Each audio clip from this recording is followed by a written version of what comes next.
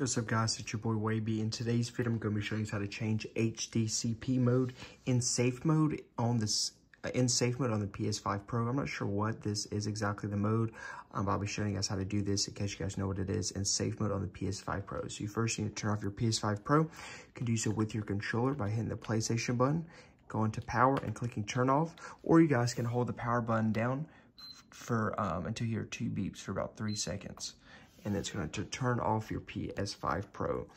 Um, and then what you want to do is, you know, don't plug the power cable or anything like that. You want to wait, you know, a couple of seconds until it turns off fully until you don't see, you know, any more lights on your PS5 Pro. Um, so again, I'm just going to wait here until it turns off. And then you want to hold the power button down until you hear two beeps. This time it's going to take about seven seconds for the second beep. So this is going to go into safe mode. You want to connect your PlayStation controller. It doesn't have to be PS4 one with a power cable and click the PlayStation button right there. Go to change video output and use the D-pad and then HDCP mode. And you can do automatic or you can do 1.4 only, or there may be another option for you right there.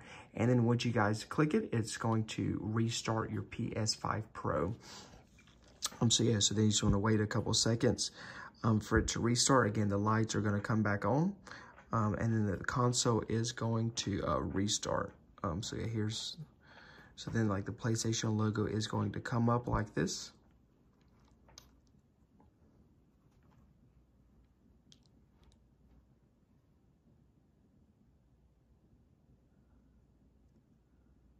and then you're gonna see that and then you're gonna see yeah it's gonna come on so yeah i hope you guys enjoy this video how to do so and i'll catch you guys in the next video peace